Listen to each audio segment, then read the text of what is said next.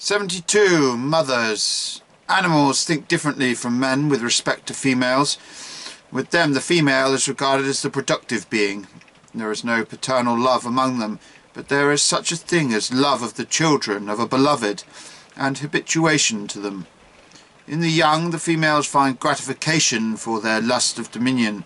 The young are a property, an occupation, something quite comprehensible to them, with which they can chatter.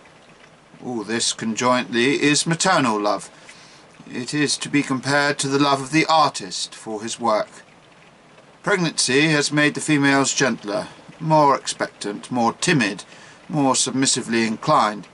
And similarly, intellectual pregnancy ingen engenders the character of the contemplative, who are allied to women in character. They are the masculine mothers. Among animals, the masculine sex is regarded as the beautiful sex.